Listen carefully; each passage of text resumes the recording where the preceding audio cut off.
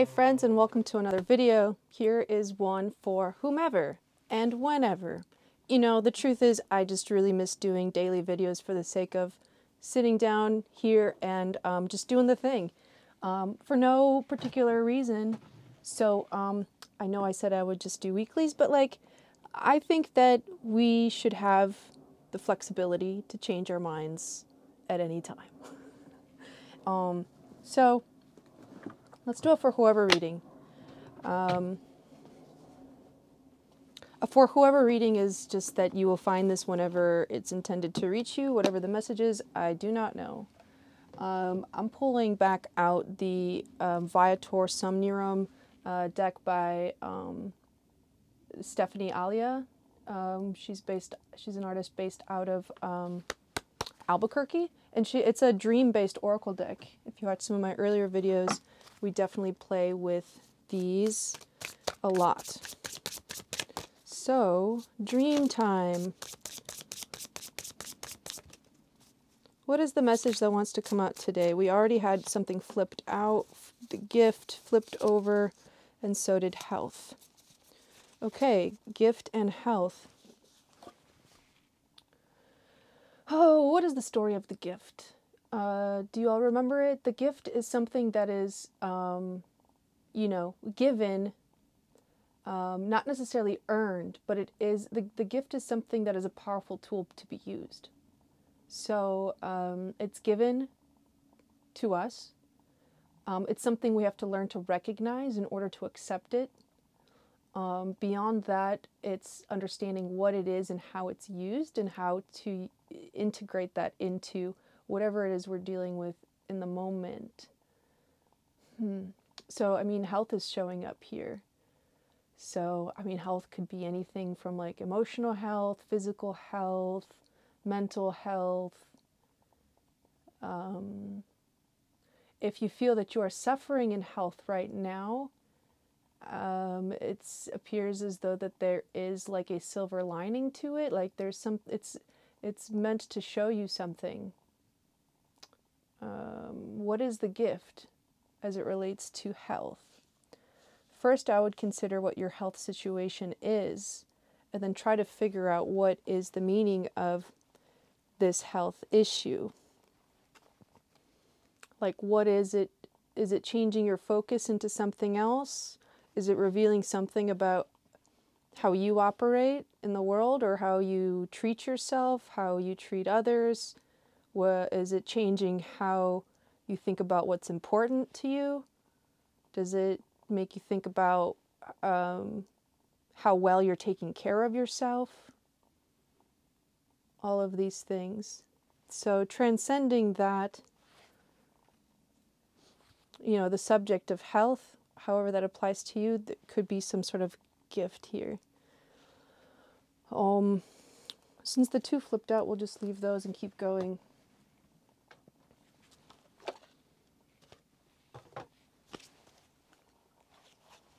Gift and health.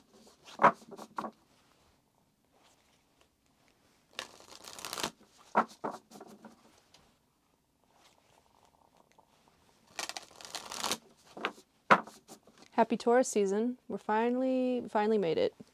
For me feels night and day different from like a couple weeks ago or last week to this week.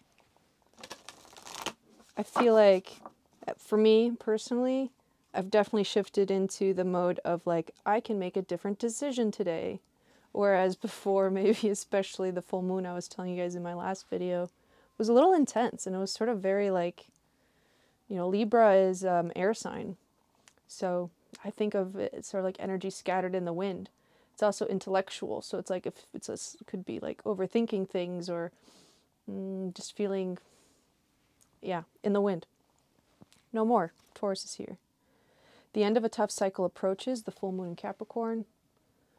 You know, the full moon in Capricorn, though, however, is also sort of like the the uh, recommittal test. This comes up a lot. Um, at least it, it has in recent readings the idea of the thing that you want is on its way. Um, don't be discouraged um, if it has, isn't happening yet because um, your commitment is being tested. Yeah. Okay, I think we'll just do the one of those. I know this is different than what I normally do. I'm just sort of feeling it out what we want to read today. So, so far we have the gift, health, and the end of a tough cycle approaches. Mm. It's almost like it's wanting to show you an alternative way, a new way of achieving some sort of health related um, goal, maybe. Don't just give up. There's something being illuminated here through your through your commitment, you're discovering a new way. A new way to treat yourself, a new way to view your health. Hmm. The new moon in Libra was all about partnerships. So, um, since that passed recently at the time of this recording, this could also be indicating um, health in partnerships, healthy partnerships, the gift of health. Hmm.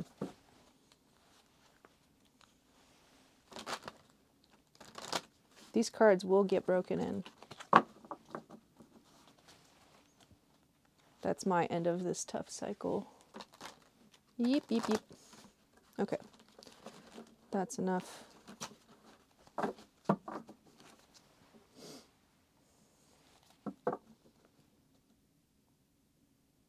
Let's see what messages we have today. We have the Six of Cups underneath. So, yeah, like I said, um, there's partnerships here, or at least relationships, harmony.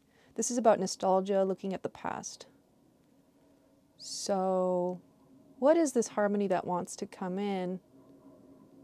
Um, and who's giving it and who's receiving it? There's like a beautiful gift being offered. You see the gift of the cup being offered there. Sort of, um, whoop, if I get rid of my eye, maybe it'll focus. Yep. The gift being offered of the cup, the rose with the cup in it. It's very sweet energy. We have the Ace of Wands, the Sun. Look at that. The Seven of Swords, King of Swords, Three of Cups, the High Priestess, Seven of Cups, Queen of Cups, and the Fool. Something new for sure. The end of a tough cycle. We have the uh, the beginning of a new cycle with the Fool here at the very end. The first two cards that came out of the deck mimic our dream cards. Look at this. There's the gift, like I already pointed out, something being offered, as well as health and the Ace of Wands. So the Ace of Wands is like also a new beginning. It's the beginning of a, of a passion, of an energy, of an idea. Um, I feel like this idea has something to do with um, wanting to feel joy, wanting to feel um, present, um, it has a lot to do with your truth. And I feel like your truth here, the, you know, the King of Swords, swords representing the mind and the intellect, ideas, um, you know, also communication. So there's something about this like desire to communicate effectively. Oh, if I had my notes, I could tell you that Mercury, the planet Mercury, is moving into another planet soon. I just forget which one. Uh, anyways, maybe it'll come to me later. Um, but this desire for clarity is here because there's also the Seven of Cups, which is the card of fantasy and illusion. I mean, it's also because of like choices, right? There's maybe a lot of options to go into. Um, and I guess what's being made clear is that direction.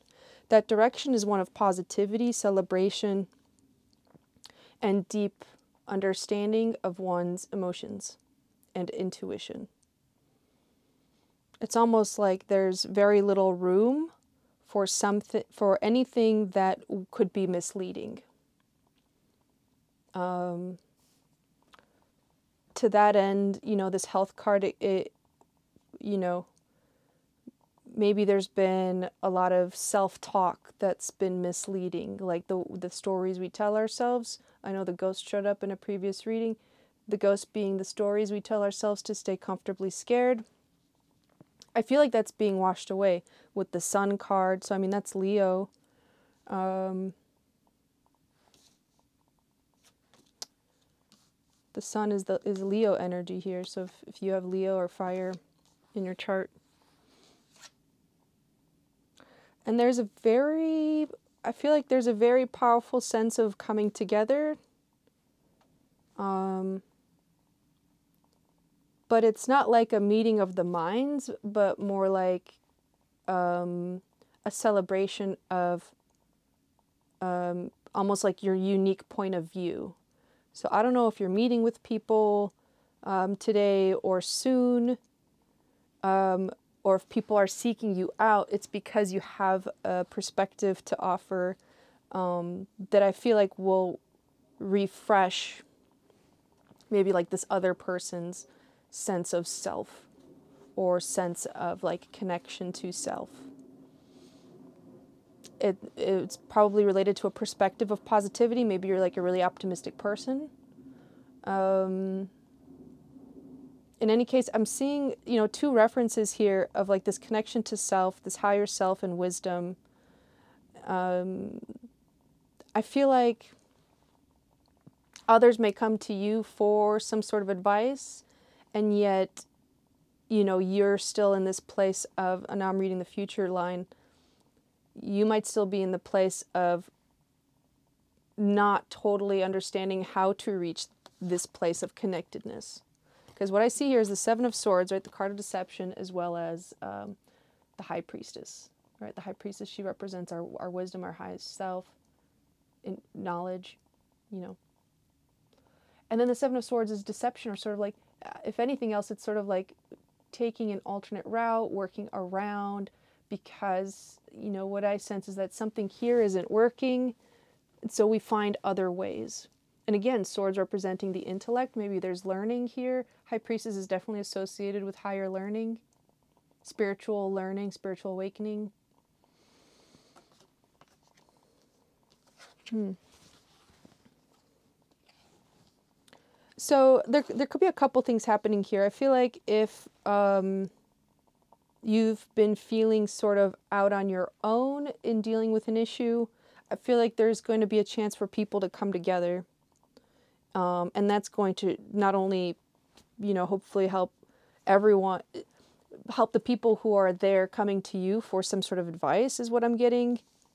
Because I see you here in a position of like having some sort of like expert knowledge about something or like a really clear way of communicating. Like you, you're, you're coming off as having a clear direction, even if you are yourself struggling with um, these options, the choices here.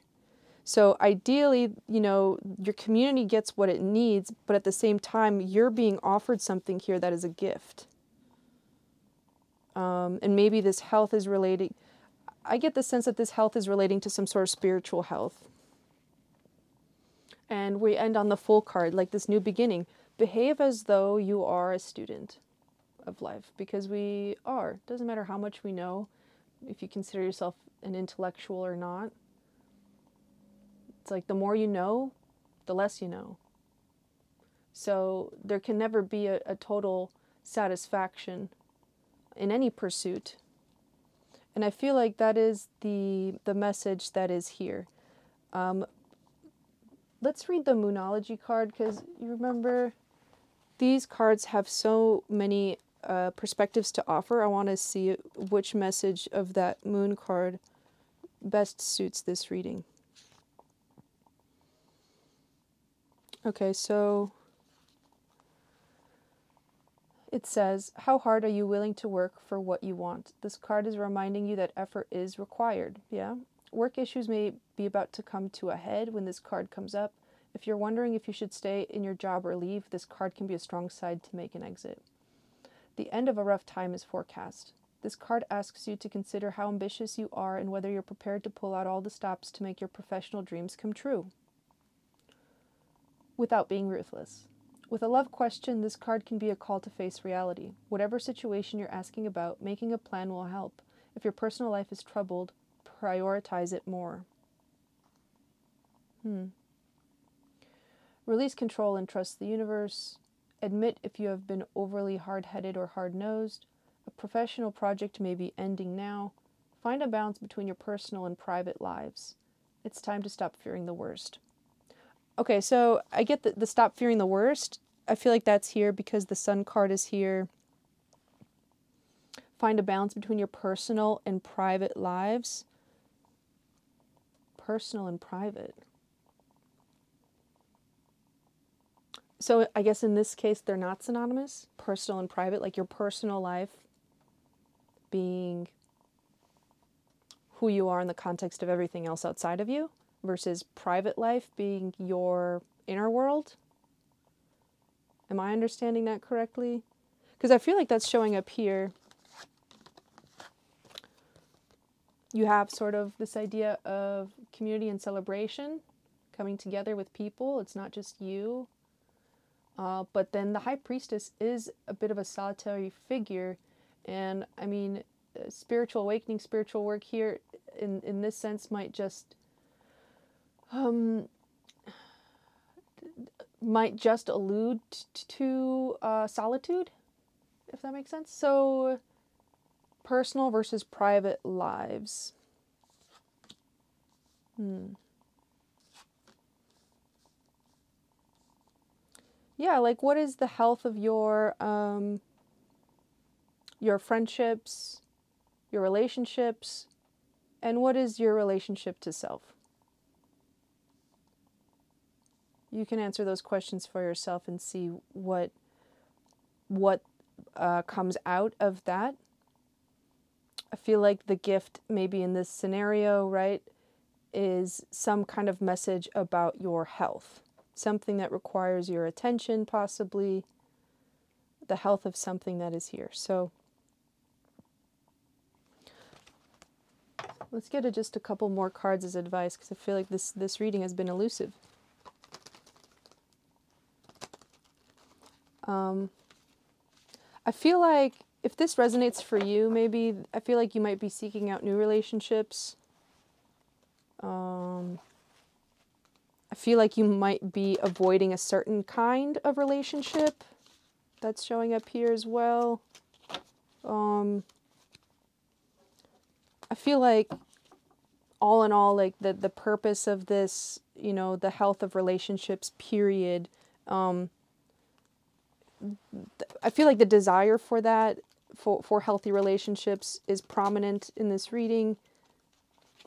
I feel like you want something that's positive and feels connected, like someone who is sort of at your pace, at your level, who understands the world the same way that you do, um, and sort of sees the same possibilities, right? Like the scale of what is possible um, and ultimately someone to adventure with. There's this Fool card. And this could be like another person in your life, but it doesn't have to be. It could just be like how you ultimately want to be in relationship with yourself.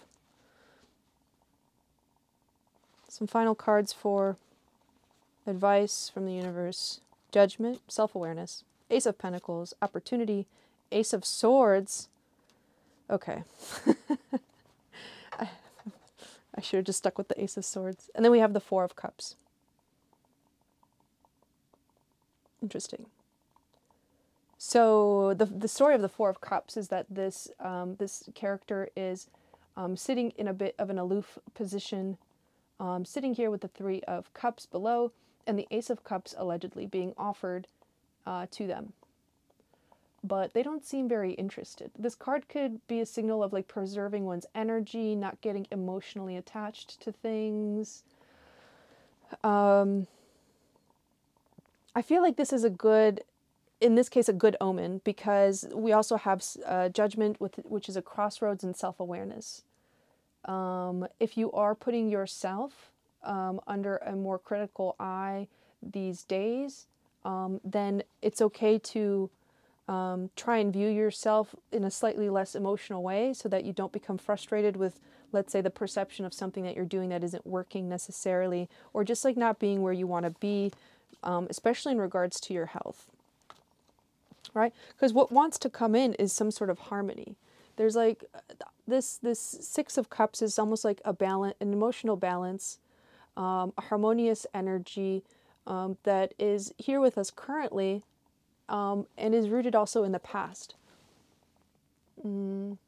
So, in some ways, I might say that there's something from the past here wanting to be integrated. Hmm.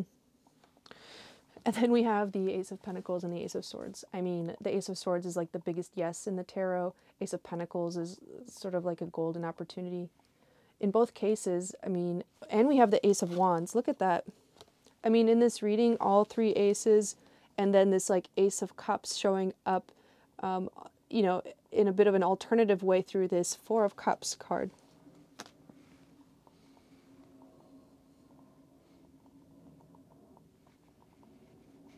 um, I'll say this because judgment is here and all of these aces are here, the fool is here. There's so much new energy here because there is um, a threshold with newness. So, what I mean by that is to say that anytime we are transformed, anytime something new happens, it's because there was like the release of something else, and um, that process of change to renewal, death, and rebirth.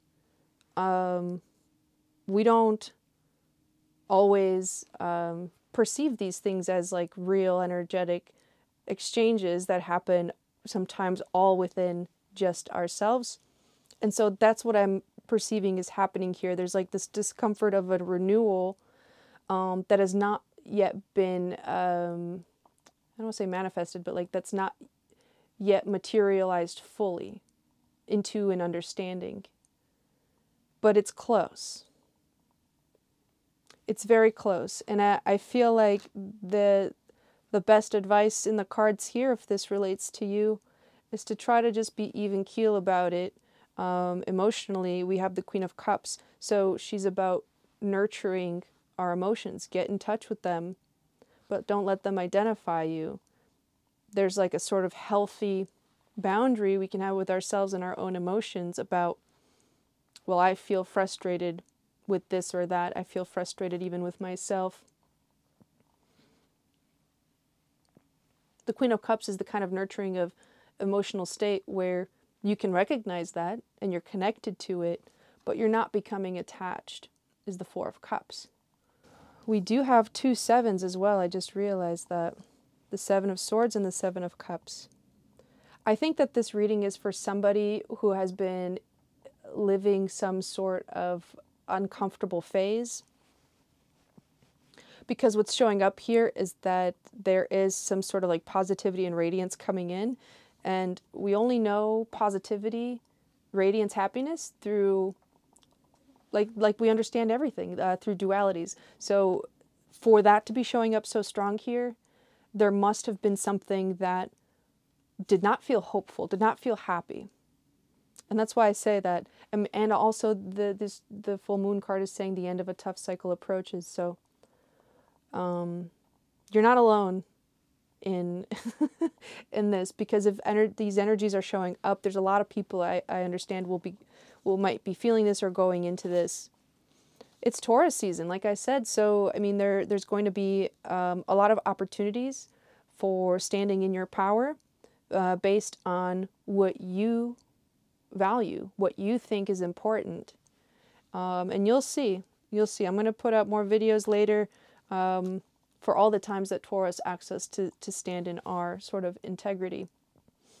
But it's also about beauty and self care. So take good care of yourself. Thanks for watching this video, and um, I'll see you all on the next one.